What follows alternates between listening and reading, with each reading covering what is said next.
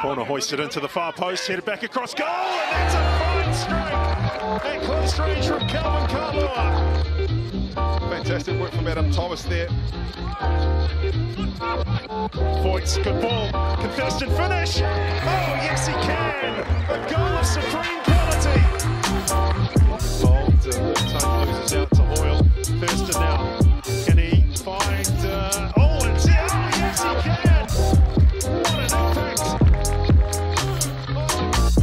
again. On to play between Drake and Thurston. Now it is Hoyle. He might line up a shot here, Stephen Hoyle, and he scored. Well, I was talking about Stephen Hoyle. Decent suburbs will come again, all towards the uh, far post. Oh, that's fallen for Thurston. Surely a chance for Adam Thurston always going to make it two. Well, it wasn't cleared. Also at the moment, quite happy to let the Wellington Phoenix players have it at the back. Now will they try and uh, nip it? Saw Hoyle putting the pressure on and it's been turned over. And Eastern Suburbs with a chance to break down score could be a decisive third goal, and they have. Oh, Eastern Suburbs got more in the locker. Strong into Bright again. He lets it go, and Strong gets it again. He's got Hoyle in there with him. He might fancy a shot himself. Campbell Strong, and it's gone in. Well, I didn't quite catch the angle of that one, and that is not Alex Paulson's best work.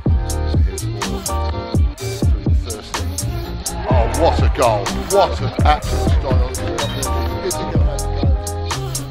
And smack into the corner. And Draper picked the right way, but you're not going to save those ones. That was a very good penalty there from Stephen Hoyle. And um, all his hard work that's put in today is, uh, been... Goes for goal, he's got it! Adam Thurston! What a terrific strike! He gets his uh, fifth goal of the for season. the opportunity. Ball is still there, looking for the shot.